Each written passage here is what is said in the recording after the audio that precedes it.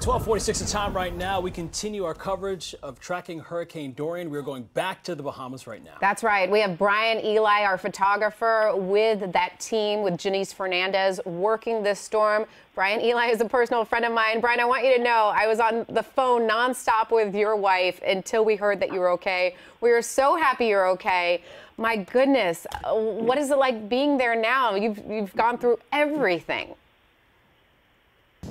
Uh, well, uh, I, I don't, I don't even know. I don't even have the words to tell you. Well, where we're at right now is, you know, we are, uh, things are stable.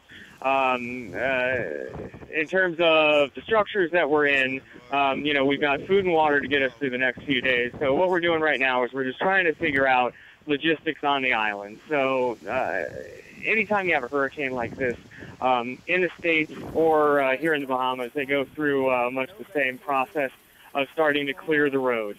Um, uh, starting uh, last night, we've seen Coast Guard uh, flying around uh, uh, in uh, by helicopter, so we know that they've done inspections of points at which they can land and start getting aid to the island. Um, I just saw two two members of our crew just arrived from the government building, which is near the airport.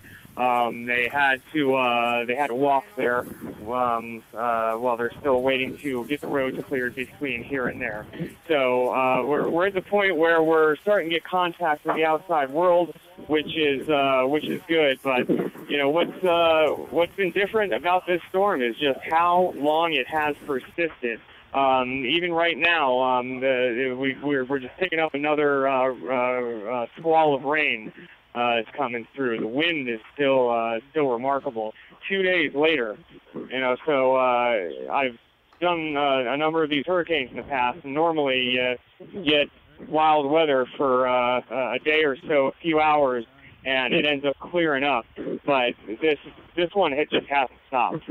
Um, so the experience of the eye wall uh, here was the first for me, uh, as intense as it was and uh, I can only imagine what Freeport uh, has been experiencing because if that eye wall that was over us for two or three hours before the eye and then again after the eye.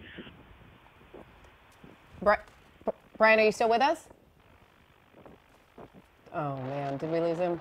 Sounds like it. Uh, I wanted to ask him more details because he's covered so many yes. hurricanes. He's so experienced. And I just wanted to talk to him more about what he went through. Once again, so glad that they're okay. But man, they rode out a storm in a hotel room inside a bathroom. Uh, he and his, his reporter, Janice Fernandez. Is he still with us?